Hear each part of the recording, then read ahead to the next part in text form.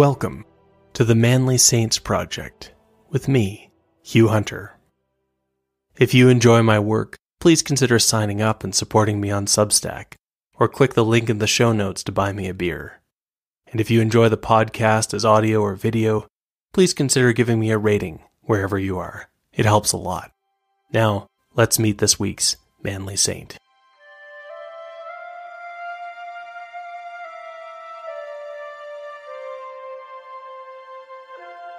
Join me today to meet a blessed who rode with Hernan Cortez in the conquest of Mexico. Name Bartolome Olmedo. Life around 1485 to 1524. Status Blessed. Feast February 11th. Montezuma II High King of the sprawling Aztec Empire, was dead. Montezuma's death came as a shock to Hernan Cortez, the leader of the Spanish expedition there in Tenochtitlan, modern Mexico City in central Mexico. Upon entering the city, Cortez had dreamed up an audacious, mad plan. He would take the High King captive in his own capital city. For a while, the plan had even worked. But things began to change as the Christians set up an altar and celebrated Mass in public. Soon, the Aztecs had appointed a new leader, and angry crowds were surrounding the building where the Spanish were staying. Hoping to de escalate the situation, Cortez had asked Montezuma to stand on a balcony and address his people. Montezuma had agreed. But the crowd was not in a listening mood. Someone had started throwing rocks, and Montezuma was hit several times. He staggered back inside. Even though Montezuma was a prisoner, not to mention the leader of a pagan religion, a strange friendship had emerged between him and the thoughtful Mercedarian friar who was Cortez's chaplain. Bartolome Olmedo. As soon as he heard about the rock throwing, Olmedo had checked in on Montezuma, but the king did not seem to be badly hurt. Olmedo had left the king to his rest. Olmedo thought that he still had time, for, like Cortez, he too had a plan. Father Olmedo's plan was for the souls of the people here in Tenochtitlan and in the broader Aztec Empire. When he and Cortez began to encounter the Aztecs, they were disgusted to discover that the Aztecs sacrificed human beings. The Western revulsion for human sacrifice ran deep. Indeed, it preceded Christianity and was part of the Roman justification for the destruction of the child sacrificing Carthaginians and the human sacrificing Druids. Early in their visit, here in Tenochtitlan, Cortes and Olmedo had watched helplessly as Montezuma personally used a stone knife to rip the hearts out of several men and boys. But where Cortes simply wanted to smash the idols, Olmedo saw an opportunity to convince rather than force. The real mission field, he thought, was in the minds of the people. Christians of the past had persuaded kings to follow Christ and turn their people in a new direction. Olmedo hoped that, by careful conversation and witness, the High King Montezuma might be persuaded to lead his people away from the idols that they worshipped. But then, to everyone's surprise, the rocks thrown by the angry crowd had done fatal damage, and Montezuma had died. The Spanish gave the great king's body to the Aztecs outside and started considering what to do next. They were surrounded, massively outnumbered, and their last bargaining chip was gone. Things were not looking good, and Father Olmedo began hearing confessions. Hernan Cortez and Father Bartolome Olmedo were the children of crusaders. Both men were born in what is modern Spain, probably both in the year 1485. This meant that Cortes and Olmedo were old enough to remember the great year of triumph that was 1492. Spain had been invaded by the armies of the Umayyad Caliphate in 711, and within a few years, the Spanish had begun an attempt to regain their territories. It was a crusade that they would call the Reconquista, and it would last for centuries. The world would change. The Middle Ages would come and go as the Spanish fought on, led by men like the warrior king Saint Ferdinand and the priest commander Saint Raymond of Fitero. Now, 774 years after the war had begun, it was over. The Christians had won. The last Islamic stronghold had fallen. The enemies of Spain were expelled, and Spain entered into a golden age. In that same year of triumph, 1492, an Italian named Christopher Columbus reported a strange discovery. He had planned to sail west and approach India. The plan had failed when he stumbled upon the continents of North and South America instead.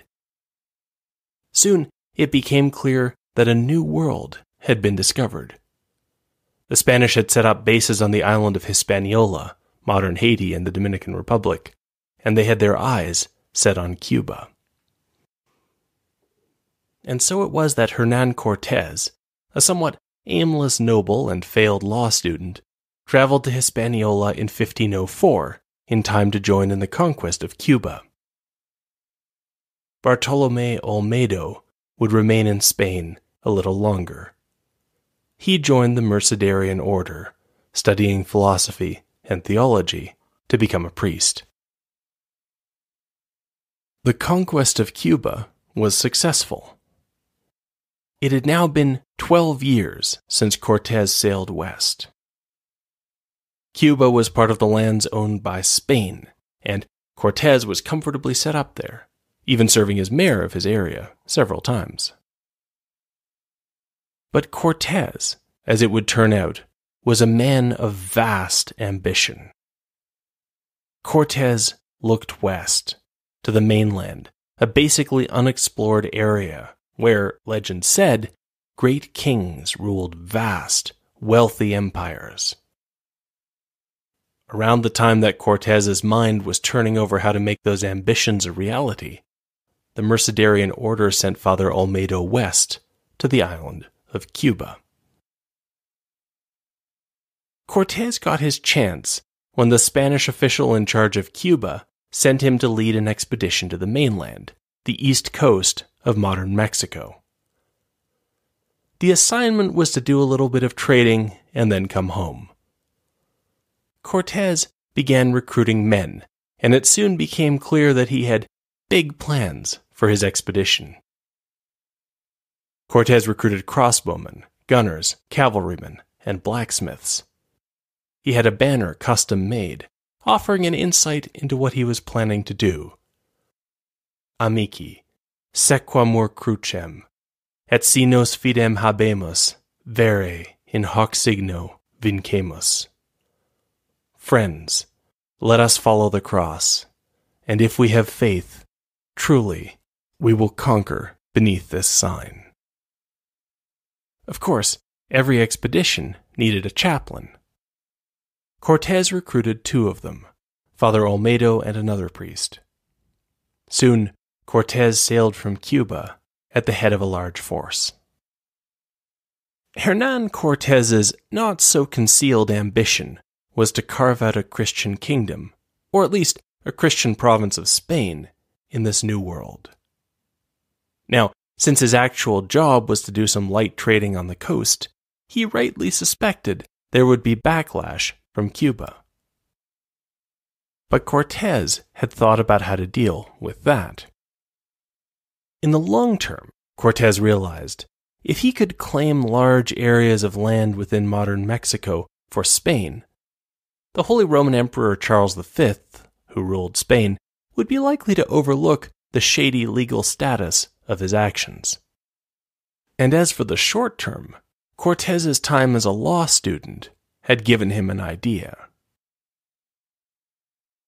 On Good Friday, in the year 1519, Cortez landed his men on the coast of what is now central Mexico and founded a city. Because it was Good Friday, he called the city Vera Cruz, True Cross.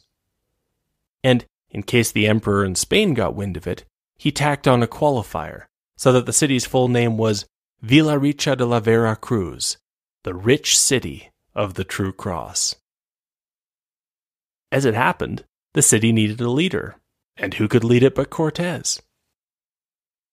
This meant his expedition was now the military branch, not of Cuba, but of the rich city of Vera Cruz.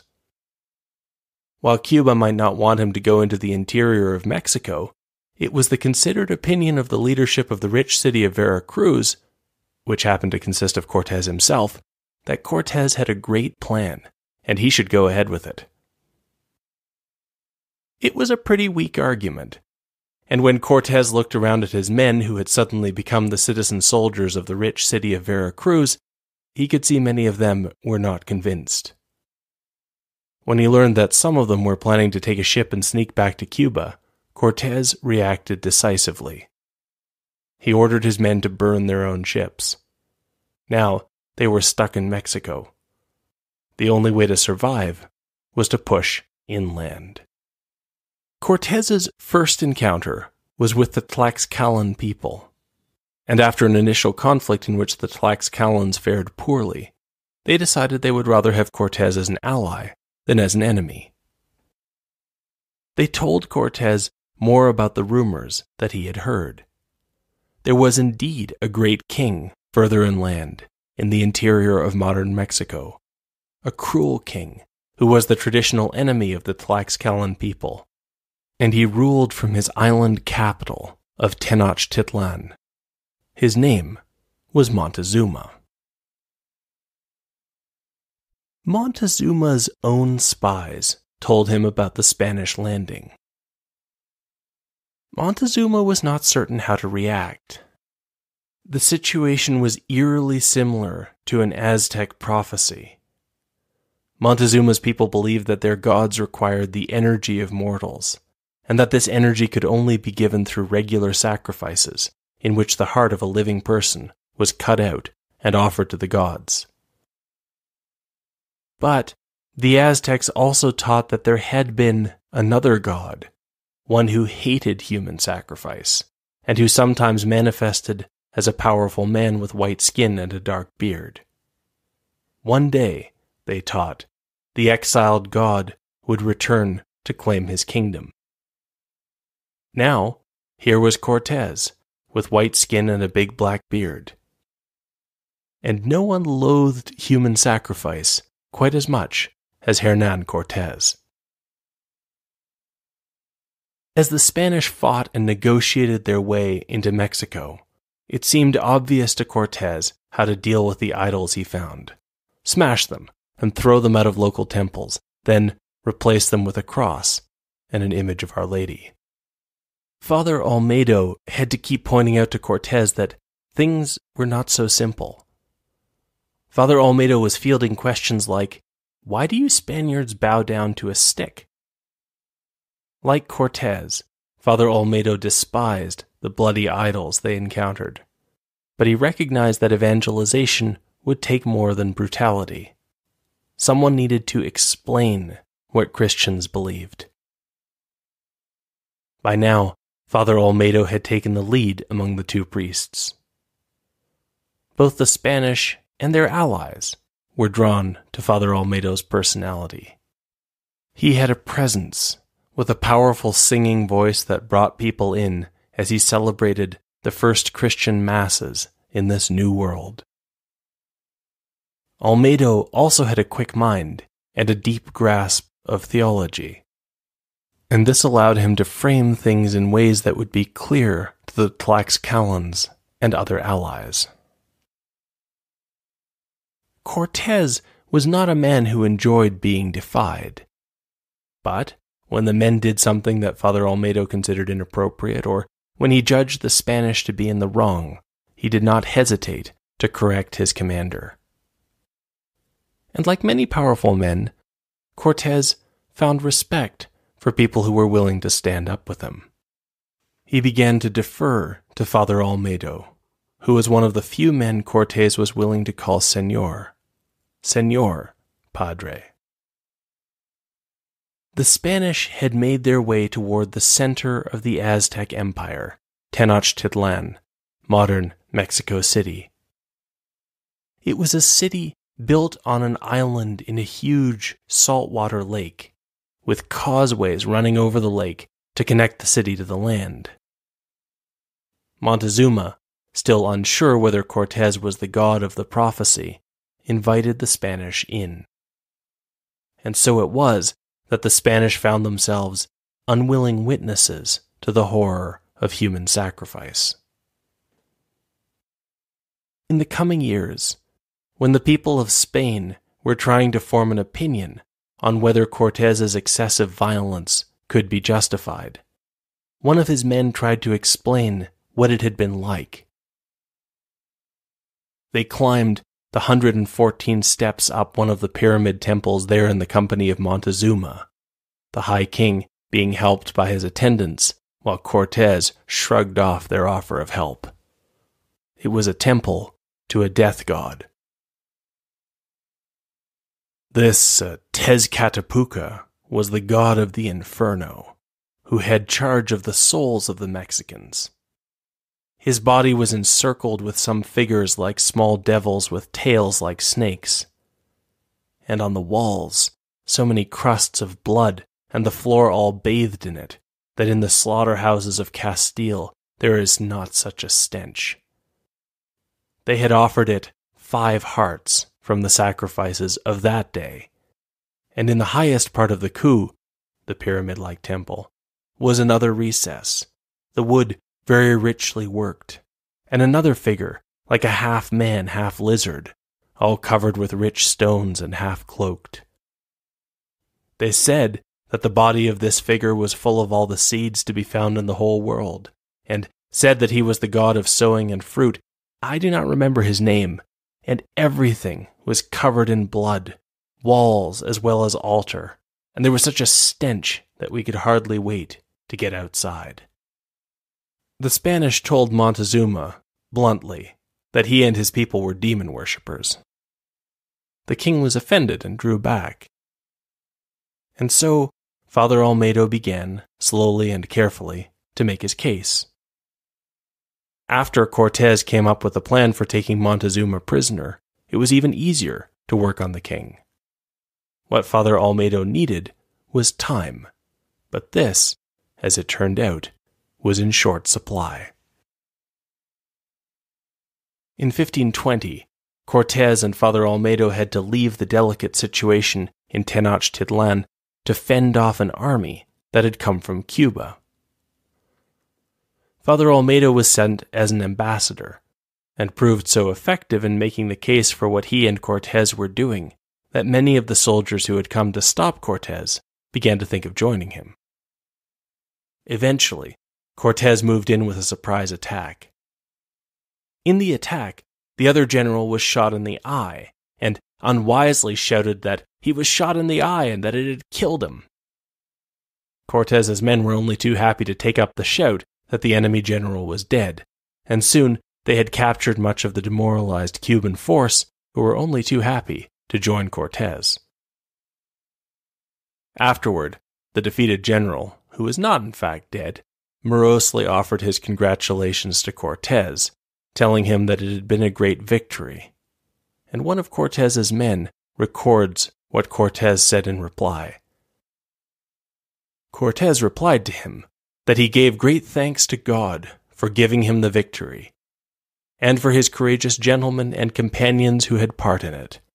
But taking him prisoner was one of the least important things he had done in New Spain.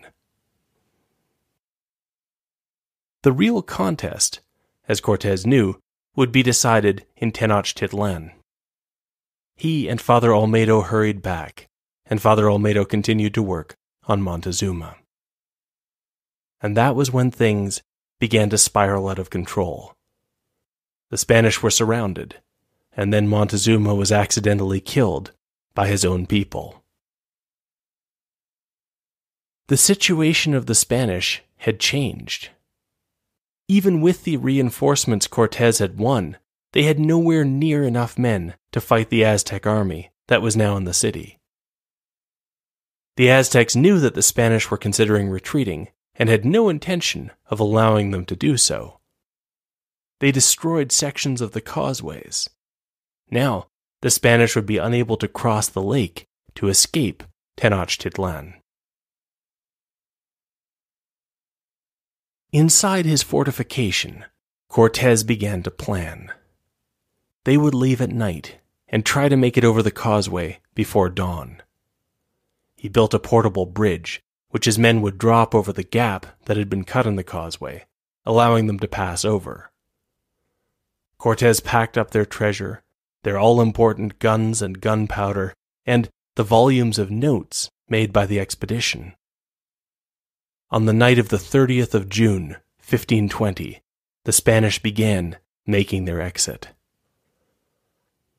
The cavalry went first, taking non-combatants, perhaps including Father Olmedo. But by the time the vanguard had dropped the makeshift bridge and gotten out onto the causeway, the alarm was already being raised. The Spanish heard shouts and whistles as the Aztec army mobilized.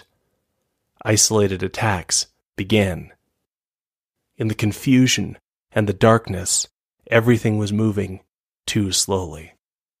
The Spaniards in the middle of their group were now hurrying along the narrow causeway. In the rear of their group, they were being attacked from the land. Soon, Aztec warriors were approaching the Spaniards who were already on the causeway in canoes, attacking with long spears. The sun rose long before the Spanish retreat was complete. And then, of course, it began to rain. The causeway got slippery. The improvised log bridge was too slippery to use, and soon the Aztec warriors had pulled it out of position anyway. It was hard to see water for all the canoes pressing in. The Spanish fought back desperately. Even the lone Spanish woman in the expedition picked up a sword and buckler and fought for her life. Everyone understood that being captured would mean being penned up and then sacrificed. Spanish wagons containing gunpowder, gold, and records plunged into the lake. When it became clear that the rear of the forces were bogged down in fighting, some of the cavalry rode back they found what was left one rider who had lost his horse, four foot soldiers, and eight Tlaxcalans, all wounded and fighting. The riders brought them to safety, and Cortez's army limped off while the Aztecs stopped to plunder the corpses that now lined the causeway. It was a catastrophe. Cortez had lost two thirds of his men and more than a thousand Tlaxcalan allies. The dead were the lucky ones, for the captives were indeed destined for sacrifice. The gunpowder and all the guns were lost. All of the careful records of the expedition were gone. Much of the treasure they had gathered was gone as well. The expedition only had 23 horses and 11 crossbowmen remaining. They began a fighting retreat away from Tenochtitlan dividing their riders into tiny units of five as they fought off the pursuing Aztecs. But help would come from an unexpected direction. Cortes had brought hope to many of the peoples in the Aztec Empire. They had long resented the bloody rule of the Aztecs, who took their sons and fathers for their sacrifices. For the first time in a long time, someone had stood up to the Aztecs, and many peoples wanted to join them. Cortez found allies coming to him. Strengthened by these allies, Cortez dug in in a city on the far side of the lake that surrounded Tenochtitlan. The city was happy to rebel against their Aztec overlords.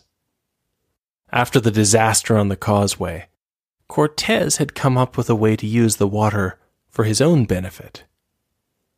In time, the Spanish would build European warships on the lake, stocking them with guns that came in precious supply shipments.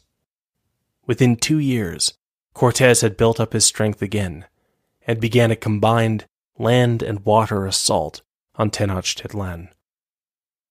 This time, the ships plowed through the Aztec canoes and blasted the city with light guns. The last king of the Aztecs tried to flee in a canoe, but was caught. And so it was that the age of the Aztecs came to an end. Hernan Cortez's gamble that the Spanish emperor would forgive the irregularities of his conquest if he was successful would pay off. He would be elevated as governor of the area he would call New Spain. But this would not be the end for the restless conquistador. He would gain his title, then lose it, and carry on his private war in contemporary California and on the African coast. Father Olmedo, however, would not follow Cortez on his restless path. There was now a Christian province in central Mexico, and it had only two priests. For these first difficult years, Father Olmedo led the church in this new world. Father Olmedo had already built goodwill and gained a reputation as a fair man, a fearless defender of justice, even when that put him in opposition to his own people. Now he began to promote the devotion to Our Lady that would play such a role in the emerging culture of what would become Mexico. In 1524, a group of Franciscans arrived to help. They found Father Olmedo exhausted. He had built churches throughout Tenochtitlan, Mexico as it was now being called, the broken pieces of idols prominently displayed in their foundations. He preached and explained Christianity. He built a hospital. It was reckoned that he had performed 2,500 baptisms. The Franciscans had not been there long when Father Olmedo died. Mexico City mourned. He was probably 39. Before he died, Father Olmedo had done one last thing for the men with whom he had struggled in the conquest of Mexico. Already, there were questions about what had happened. Everyone agreed that the Spanish had not always behaved well. Was it worth it? In a carefully reasoned letter to Rome, Father Olmedo argued that this was a kind of war that had value. It was a war for souls. It was the kind of war that the Spanish had been fighting as long as anyone could remember. It had been, he argued, a crusade.